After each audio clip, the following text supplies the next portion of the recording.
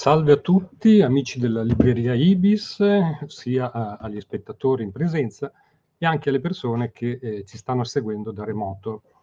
Bene, questo pomeriggio presenteremo un romanzo, un romanzo che si basa su una storia vera. L'autrice, molto documentata, ci narra della sconvolgente vicenda di un naufragio nel Mediterraneo, eh, di una nave da guerra italiana all'inizio del della Seconda Guerra Mondiale e in questo episodio ci descrive le profonde e drammatiche emozioni che uno dei superstiti vive nei lunghi giorni del naufragio. Il titolo è appunto Il naufragio dell'Espero, eccolo qua, storia vera di un sopravvissuto e l'autrice è Anna Rita De Lucca, che saluto Buonasera Anna, Rita. Buonasera Cesare, grazie dell'invito. Grazie, grazie a te. Eh, dirò due cose in più sulla tua biografia, sul tuo operato. Anna Rita De Lucca è saggista e storica dell'arte, laureata alla Facoltà di Lettere e Filosofia dell'Università di Bologna in storia dell'arte moderna. Da molti anni si occupa eh, di libera ricerca, scrivendo libri, cataloghi e articoli per riviste d'arte specializzate.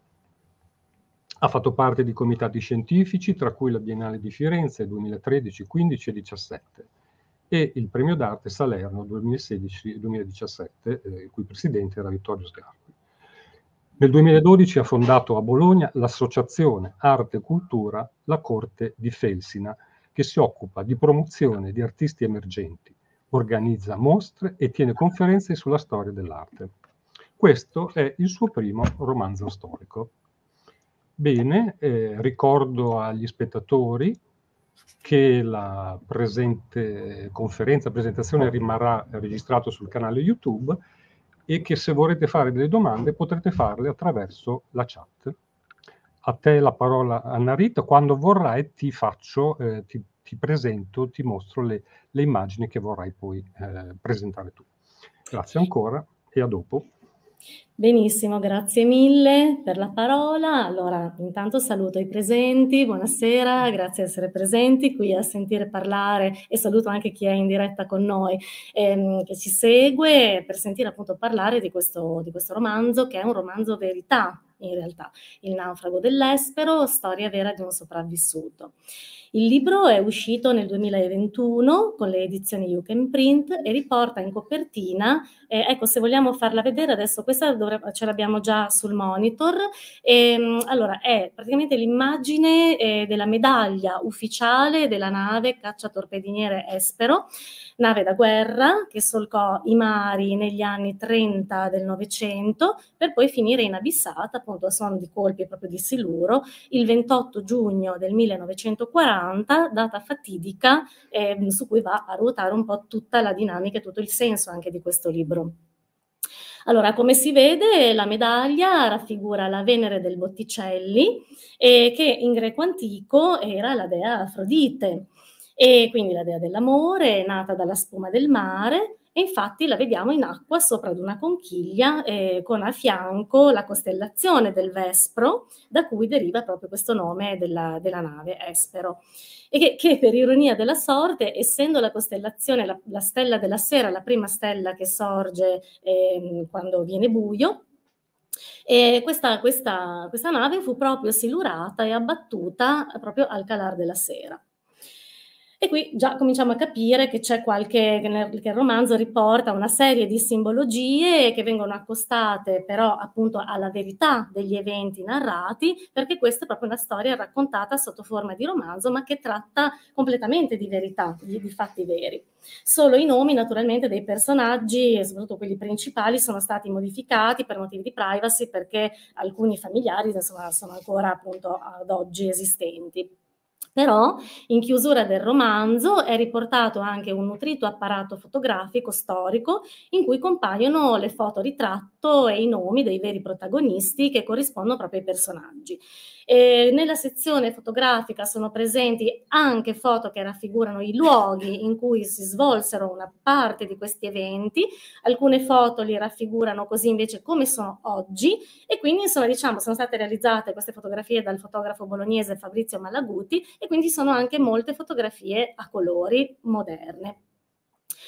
Prima di parlare della struttura, un pochino del romanzo, vorrei soltanto dire che questo libro è nato in un modo un po' inconsueto, eh, perché in realtà eh, è il mio primo romanzo, non avevo mai scritto romanzi, perché mi sono sempre appunto occupata di storia, soprattutto di storia dell'arte.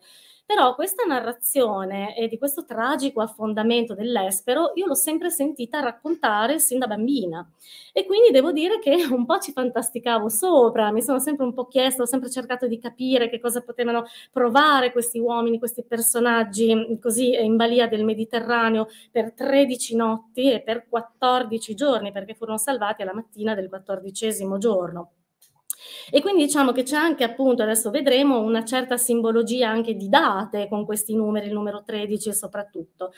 Questi sei derelitti rimasero praticamente, mh, diciamo, gli unici superstiti di centinaia di persone, appunto, e diciamo che la cosa più toccante è sempre stato sapere che questi giovani, perché erano giovani, erano dei militari in guerra in quel periodo, e, diciamo, il più grande devo dire che era proprio il, il, il, personaggio principale, Alfio, che si chiama Alfio, il protagonista, che aveva 36 anni allora ed era già andato in guerra, quindi era la seconda volta che era stato richiamato alle armi da Mussolini dopo aver combattuto appunto la guerra coloniale del 1936 in Abissinia.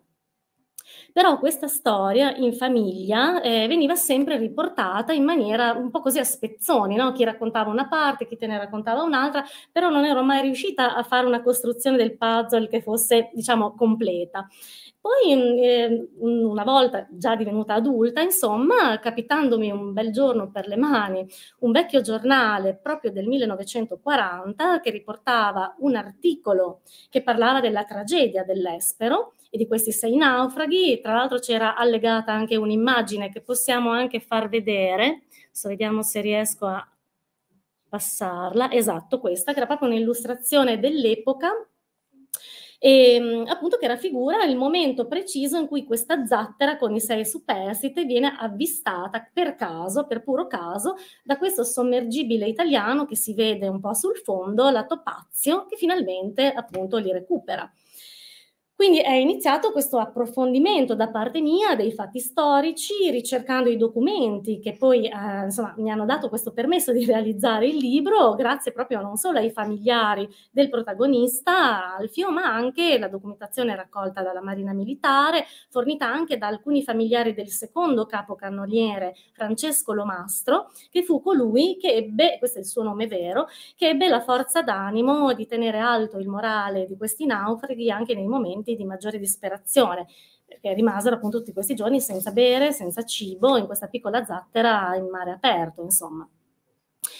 Certamente quello che mi ha colpito di questo avvenimento è stato, oltre chiaramente al pallino della storia, anche il fatto che nonostante la, la, cronaca storica non lo riporti da nessuna parte, si trattò della prima nave caccia-torpediniere tra i 58 italiani affondati durante la Seconda Guerra Mondiale, quindi anche questa è una cosa particolare. E, mh, mi sono chiesta perché non fu riportato nella, nella storia dell'epoca, perché ne parlano appunto gli annali della, della Marina, ma non viene, ma non è un, un argomento argomento trattato tanto nei giornali. E probabilmente perché in quel periodo, questa è stata la risposta che mi sono data io, eh, Mussolini era entrato in guerra insieme ai tedeschi proprio il 10 giugno del 1940 e pochi giorni dopo, quindi solo pochi giorni, il 28, la sua flotta riceve la prima durissima eh, colpo, insomma il primo durissimo colpo e quindi la perdita di alcune navi, di queste sue prime navi, tra cui proprio l'Espero che avrebbe dovuto portare armi, cannoni, vettovaglie rinforzi, insomma, eh, appunto alle truppe italiane che si trovavano appunto in Abissinia contro gli inglesi. Un altro motivo che mi ha spinto a scrivere appunto di naufraghi è proprio in questo preciso momento storico, mh, mm, in questo diciamo primo ventennio del, del nuovo millennio appunto, sono anche questi accadimenti tragici che noi vediamo avvenire tutti i giorni. Ovviamente sono molto diverse le dinamiche, sono diverse le cause, le modalità, eccetera. Però ehm, è molto insomma, particolare pensare che ancora oggi appunto ci siano dei naufraghi che eh, sia per le guerre, sia per la fame, sia per tante motivazioni, eh, così disperatamente cerchino un approdo sicuro, insomma, rispetto al loro triste destino, insomma.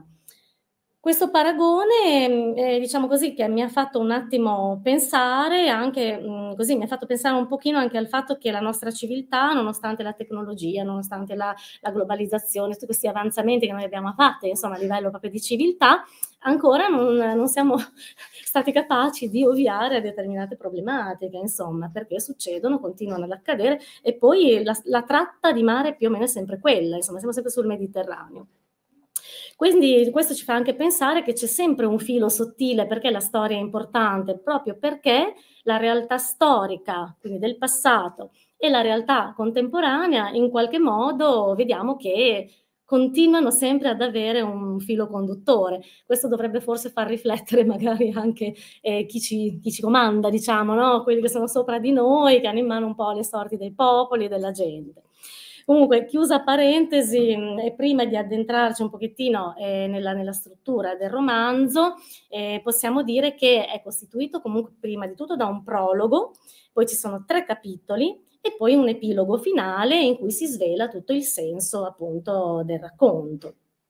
Poi ci sono alcune appendici in fondo che ho voluto inserire separatamente dal racconto, prima di tutto per non andare ad intaccare il, diciamo così, la suspense della narrazione, insomma, non andare ad intaccare il romanzo, il gusto della lettura del romanzo.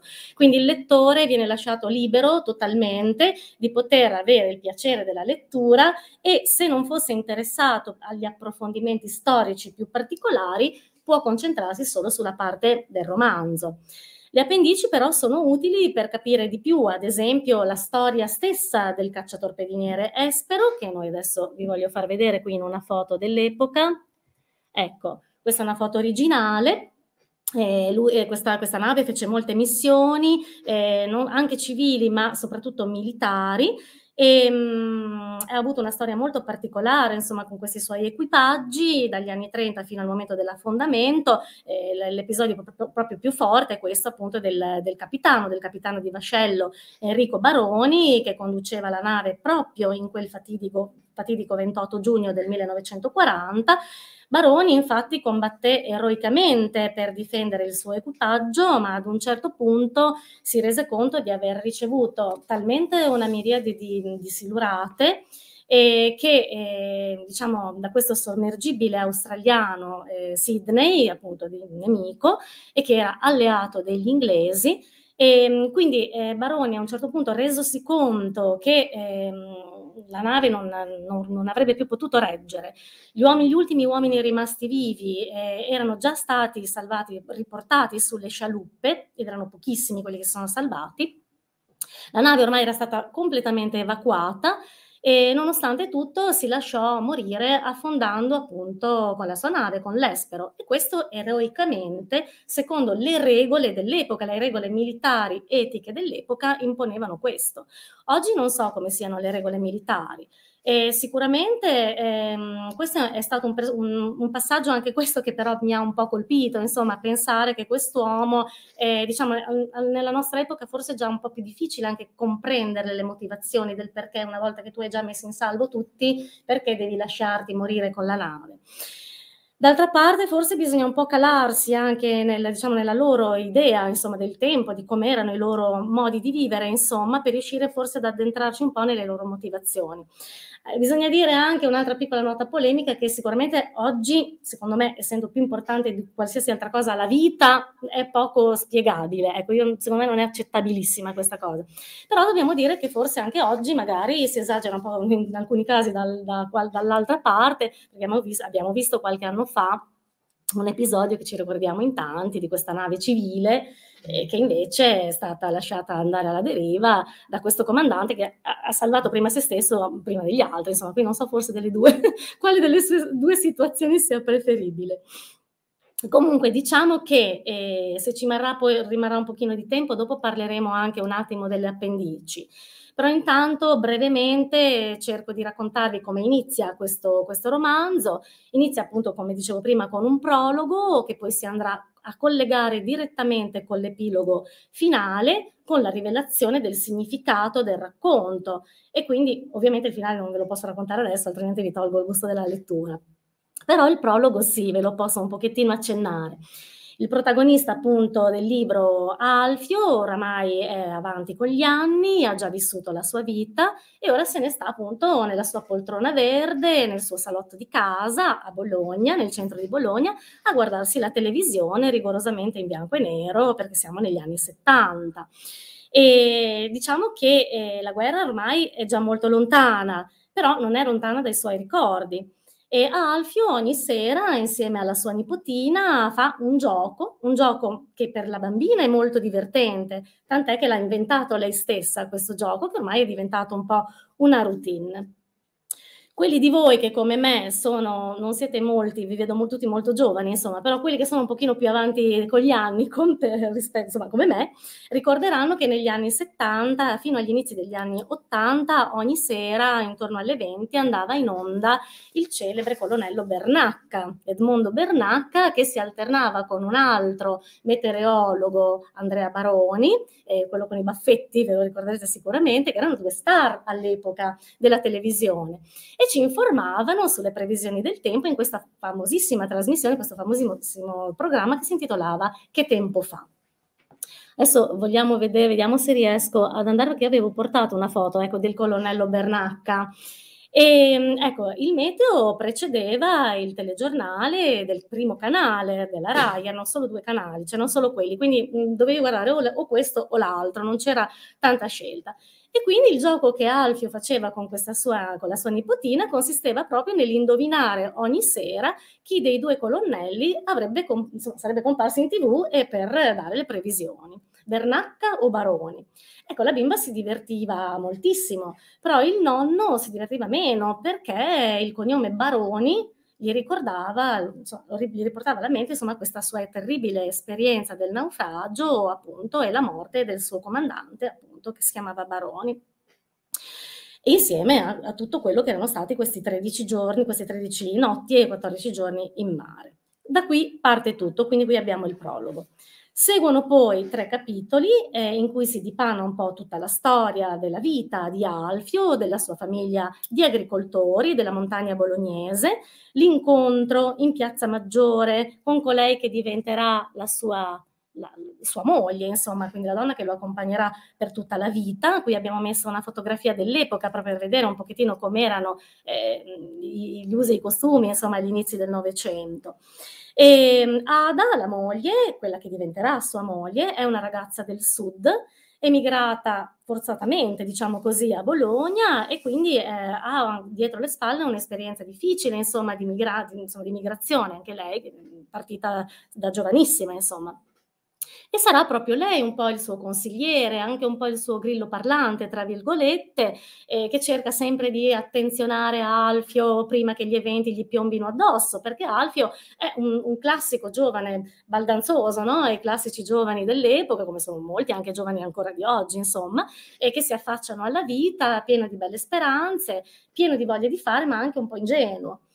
E infatti dalle alture dell'Appennino, come tanti del suo tempo, si, si, va, si, trasferisce a Bologna per cercare una vita migliore, che sia lontana dalla durezza del lavoro dei campi, che distruggeva insomma la, la, fisicamente e anche psicologicamente i contadini, eh, perché rimanevano eternamente nella povertà e nella sofferenza.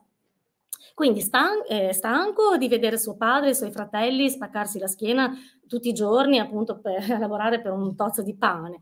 E così affascinato dalle promesse di un futuro migliore che appunto il giovane Mussolini propinava agli italiani all'inizio del, di quegli anni, degli anni 30 e degli anni 20, finì con, con l'illudersi che finalmente dopo secoli e millenni di stenti per la classe povera della società si sarebbero cominciate ad aprire, diciamo così, delle, delle concrete speranze di riscatto, che però non era il riscatto comunista, perché Alfio non era un semplice bracciante. Infatti adesso vi faccio vedere anche la fotografia del per questo Alfio, questo è il vero Alfio, il personaggio reale della storia, e veniva da una piccolissima, piccola, piccolissima borghesia terriera e artigiana, quindi quelli che erano un po' a mezza via appunto tra la classe proletaria, che magari una casa ce l'aveva, che un po' di terreno ce l'aveva, e quindi odiata da un lato dal, proprio dalla classe proletaria che non aveva proprio niente, e dall'altro invece dalla, dalla, disprezzata dai ricchi possidenti che sfruttavano il lavoro dei braccianti e dei nulla tenenti, ma schiacciavano anche i piccoli proprietari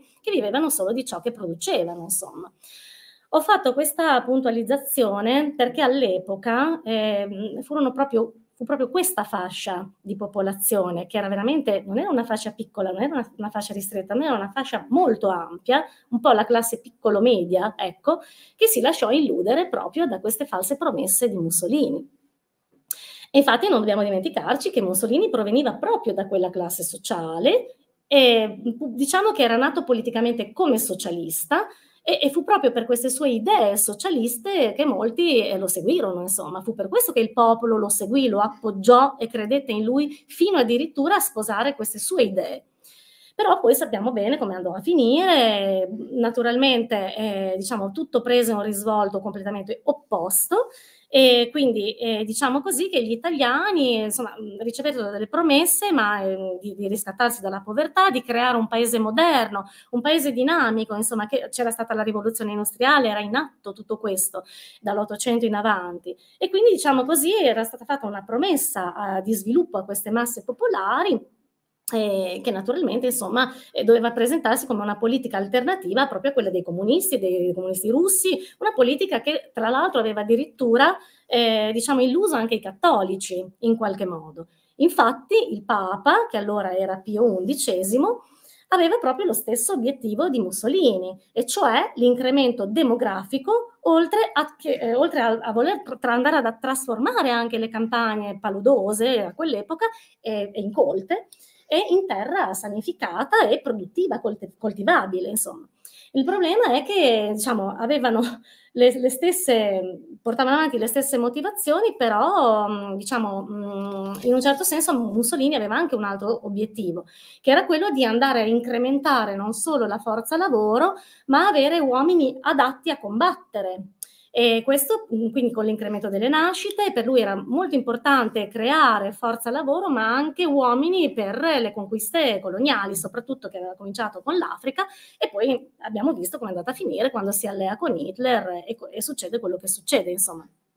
Infatti il 10 giugno del 1940 decide di, eh, di partire in guerra con, di, di, insomma, con, insieme a Hitler proprio per la conquista del mondo. Eppure insomma, la, la, gente lo seguì, lo seguì come vediamo da t- tanti filmati anche dell'epoca, tutta questa gente che si riversava in piazza. E, perché? Perché? Perché aveva alimentato delle speranze. Forse la parte diciamo più negativa di questo personaggio fu proprio questa, il fatto di al- aver alimentato delle speranze di riscatto in un momento storico in cui la gente ne aveva veramente bisogno, insomma, quindi fece leva su questo. In realtà lui era anche ateo e infatti non gli importava nulla della Chiesa, eh, la dovette tollerare per ovvi motivi, chiaramente di convivenza politica, anche perché il popolo italiano era in gran parte cattolico e, e, questo appunto ce lo riporta proprio in un suo testo il noto giornalista del Novecento Indro Montanelli. Adesso qui poi sul libro si troveranno anche le note, insomma ci sono delle citazioni, e disse, eh, dichiarò eh, a proposito di Mussolini in questo testo. Mussolini avrebbe detto, ha detto, questa religione, il cristianesimo, è nata nella Palestina, ma è diventata cattolica a Roma. Se fosse rimasta nella Palestina, molto probabilmente sarebbe stata una delle tante sette che fiorivano in quell'ambiente arroventato, siamo territorio ebraico, come ad esempio quella degli Esseni e dei terapeuti, e molto probab- probabilmente si sarebbe spenta senza lasciare traccia di sé. Quindi è una botta al cristianesimo, ma anche secondo me all'ebraismo, perché in quell'epoca si trovavano là, è nato là il cristianesimo. Un altro personaggio storico da citare importante per quell'epoca è una donna, una donna che all'epoca era molto influente, ebrea, di alto rango, socialista anche lei, finanziatrice del giornale Lavanti e poi fondatrice insieme a Mussolini del Popolo d'Italia. E fu anche sua amante, perché poi si parla sempre di, della Petacci, ma in realtà Mussolini di amanti ne ebbe molte, ne ebbe parecchie e quasi tutte, diciamo così, molto utili alla sua causa politica, no? Spesso e volentieri, insomma. E questa donna, appunto, è, è Margherita eh, Sarfatti.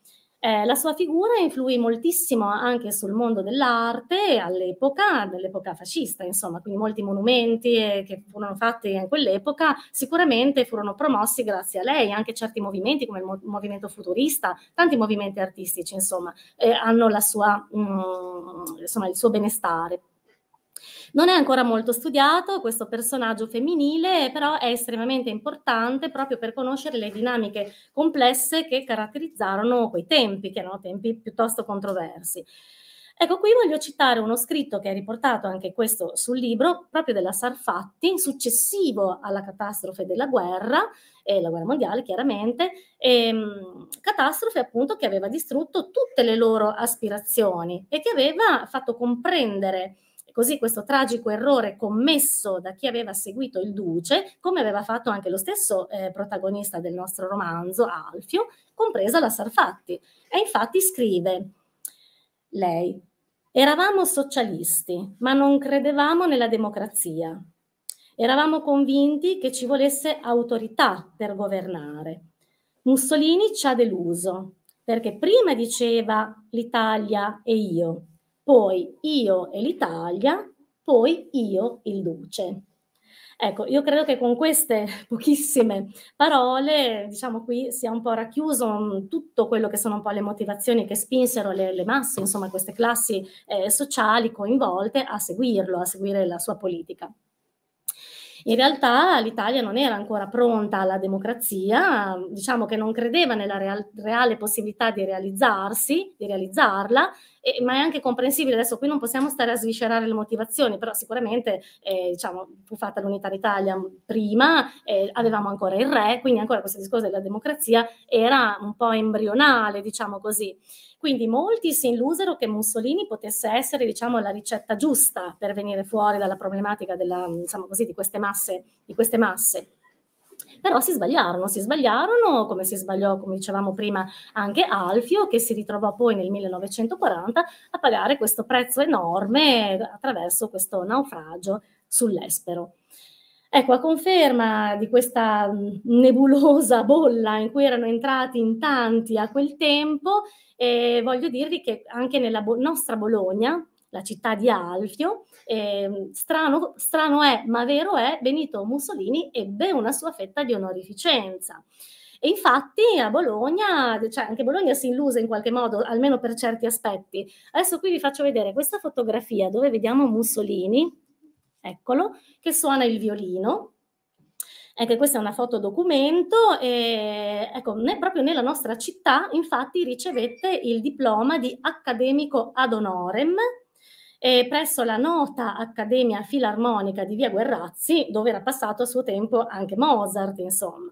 Nel verbale dell'evento compaiono molti nomi anche di prestigiose dame dell'epoca, insomma, quindi un po' tutte le varie fasce della società. Mm, aveva un certo fascino, Mussolini piaceva alle donne, insomma, era un personaggio che in qualche modo venne seguito da vari ambienti.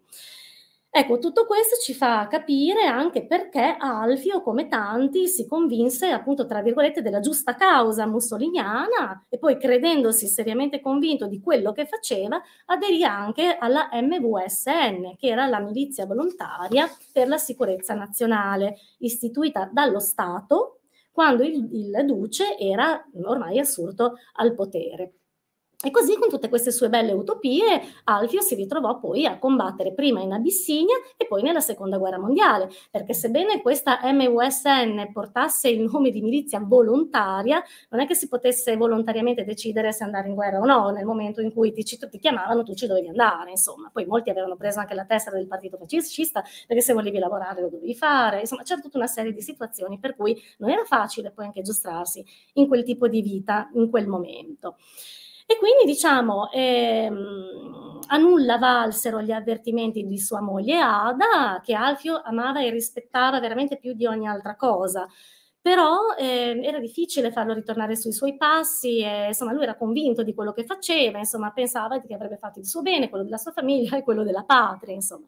Poi si dovette ricredere do- dopo aver assistito agli orrori della guerra coloniale in Africa, da cui lui rientrò veramente devastato, cambiato proprio nel carattere, addirittura diventando più taciturno, um, tant'è che la moglie poi glielo, fece, glielo faceva sempre notare questo suo cambiamento di carattere.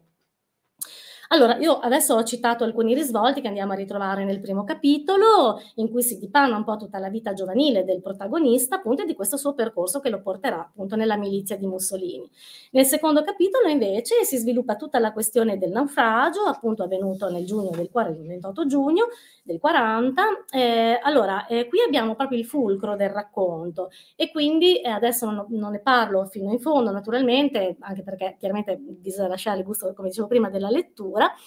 Eh, però dico soltanto che eh, quello che mi, aveva, che mi, ha interessato di più del capitolo ta- del, del, libro non è tanto raccontare l'episodio dell'affondamento in sé per sé, che chiaramente eh, insomma, è stato frutto di una ricerca documentale importante, insomma mh, anche abbastanza lunga nel tempo e che comunque è molto avvincente anche come episodio per quello che accadde.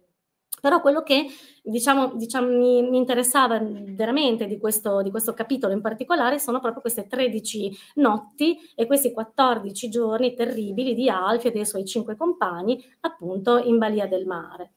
Allora, la prossima fotografia che vediamo è la tratta praticamente della la rotta che la nave Espero stava percorrendo appunto partendo da Taranto diretta a Bengasi per portare appunto armi e vettovaglie, rinforzi insomma alle truppe italiane in Nord Africa. Doveva, la meta era Tobruk in realtà, ma per motivi di sicurezza la rotta fu deviata proprio verso Bengasi e fu proprio a metà del percorso che l'Espero venne avvistata e silurata dai nemici inglesi ehm, appunto che, la, che l'attaccarono.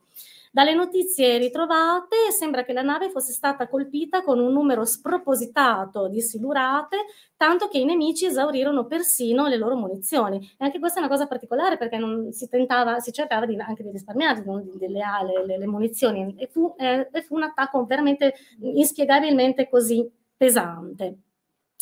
Quindi nel capitolo appunto si racconta un po' tutto, tutto, questo discorso, però si raccontano soprattutto le due settimane di agonia in mezzo alle acque del Mediterraneo, appunto di questi derelitti che rimasero abbandonati dal mondo senza cibo, senza essere, senza bere, eh, non avvistati né da imbarcazione né da velivoli, a parte uno che volò sopra di loro, ma probabilmente, nonostante tutti i segnali che loro cercarono di mandare, non, non li vide, insomma.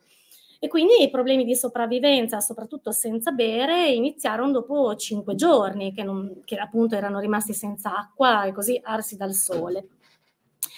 E proprio in questo momento, è proprio in questo momento appunto che si verifica però qualcosa di inspiegabile, eh, che non è un'invenzione dell'autrice, ma che in realtà è testimoniata proprio dal vero protagonista del libro, eh, il quale narrò il fatto molti anni più tardi ai suoi familiari.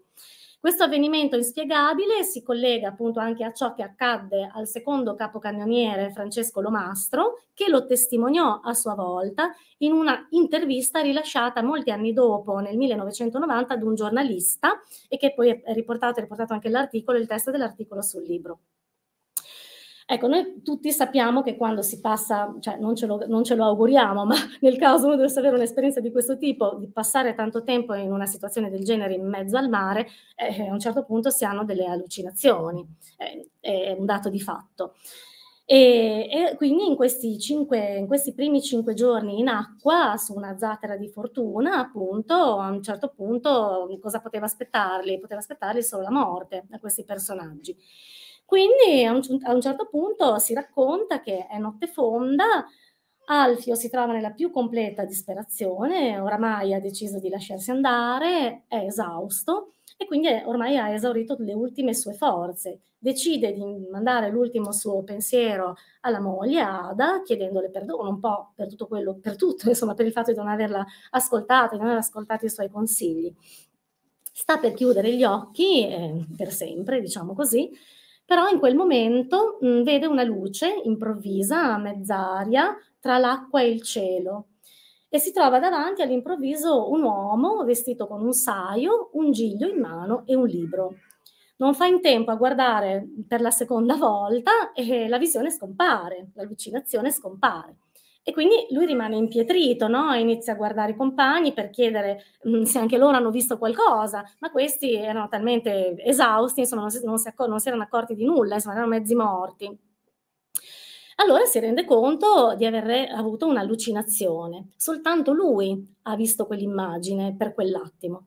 Per cui si torna mh, mm, ad accasciare perché non si regge più in piedi e dice sarà stata appunto un'allucinazione. Passano però soltanto poche ore, alle primissime luci dell'alba, uno dei naufraghi eh, si accorge però che verso di loro galleggia una piccola imbarcazione che si sta avvicinando. Allora scuote i compagni, li chiama, dice mm, sveglia, si sta avvicinando una barca con le ultime forze rimaste remano per cercare di andare verso questa imbarcazione, si accorgono che è vuota, non c'è nessuno, però una volta che la, che la raggiungono e riescono a vedere all'interno, trovano mh, dei barilotti d'acqua, una, un bel numero di barilotti d'acqua dolce, qualche impermeabile, una torcia, dei fiammiferi e degli avanzi di cibo consumati forse da chi appunto si era trovato all'interno di questa imbarcazione. Allora Alfio ripensa a quella strana visione della notte precedente, così inspiegabile per lui che era un uomo semplice, un uomo anche molto concreto, estraneo, insomma, tutto quello che poteva essere fuori dal tangibile, insomma, dalla concretezza delle cose. Però quella effettivamente era stata una coincidenza molto particolare. E fu proprio questa coincidenza che fece sì che questi naufraghi riuscissero a sopravvivere per, almeno per un'altra, per un'altra settimana. È durissima, fra le onde d'ancora del Mediterraneo, in balia degli squali e insomma di tutti i pericoli che si possono immaginare. Ecco, allora, senza togliere, diciamo così, la suspense ecco, della, della, lettura, eh, aggiungo soltanto che questa figura misteriosa con il saio apparirà di nuovo al termine della seconda settimana al capocannoniere Lomastro e sarà lui stesso a raccontarlo, come abbiamo detto prima, molti anni più tardi al giornalista nel 1990 che pubblicò l'articolo. Quindi i due naufraghi, Alfio e il secondo capocannoniere Lomastro, videro l'immagine in due momenti di questo personaggio in due momenti differenti. E, ehm, e quindi anche qui un po' il mistero sta nel fatto che dopo l'allucinazione di Alfio, eh, scusate, di, di, Lomastro, la zattera eh, con i, i, sei naufraghi fu eh, casualmente avvistata dalla nave, da questa nave italiana, la Topazio che abbiamo visto prima nel, nell'illustrazione, che era lì di, casualmente di passaggio.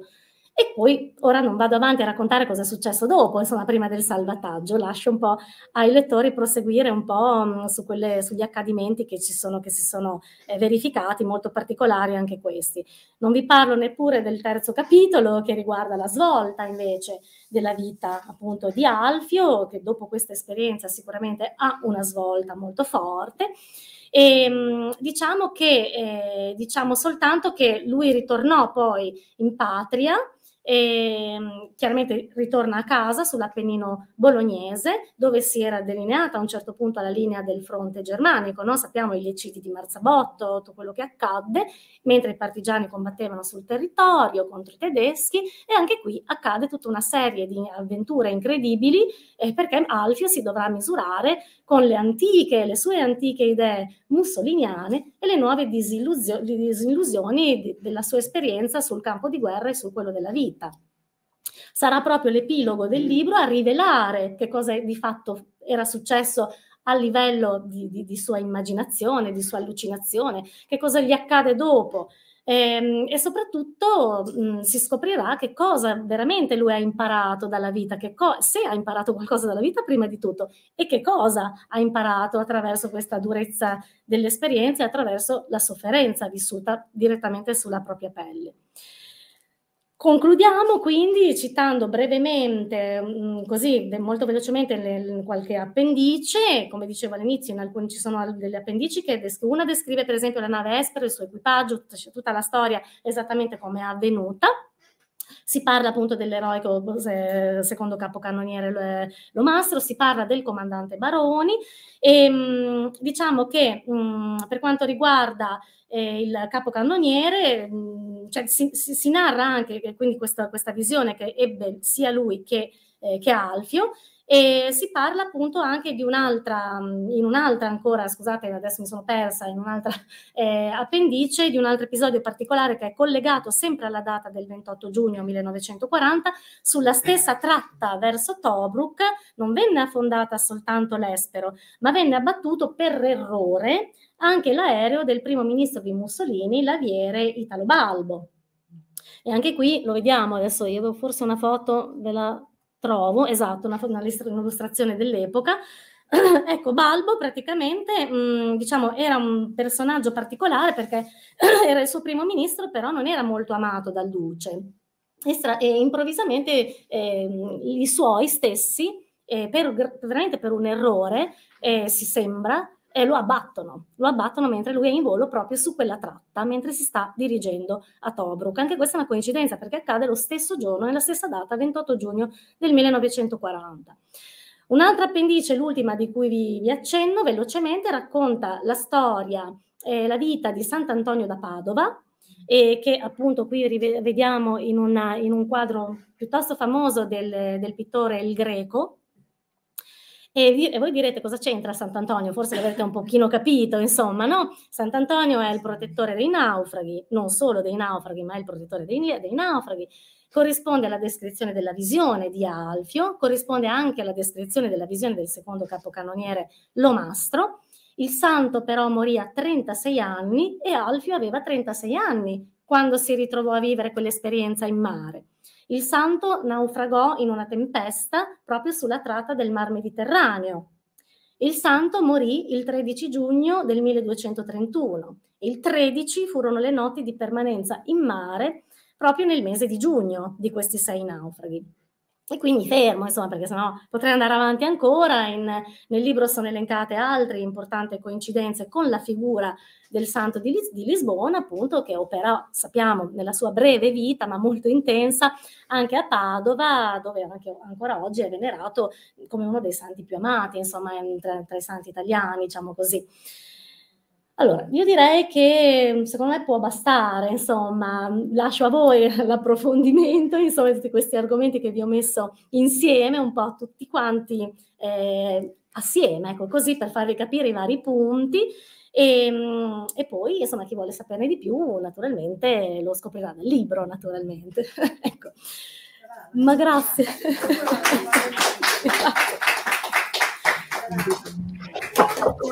bene, bene. Abbiamo, abbiamo il nostro interlocutore. Dunque, sì, ci sono degli spettatori ancora online. Hai, hai, delle, hai delle, domande del pubblico in presenza? Ciao. Qualcuno, qualcuno, qualcuno vuole fare qualche domanda, qualche curiosità? Direi che ho parlato talmente tanto che penso che abbiano già esaurito gli argomenti. Bene, allora se non ci sono altre cose che vuoi aggiungere, è stata una, una bellissima esposizione eh, e yes. non rimane altro che leggere questo romanzo. Fra l'altro ho, ho, ho capito alla fine che c'erano anche dei risvolti particolari, quindi eh, appunto incoraggio a, a, leggere questo romanzo. Ecco. Sicuramente. Bene. Grazie. Grazie, grazie a te, grazie ai presenti e grazie ancora agli spettatori online e ci diamo appuntamento a un, a un prossimo evento. Grazie ancora. Grazie a voi. Grazie. a voi. Grazie ragazzi. No, è giù dal, dalla, dalla libreria. Sì, sì.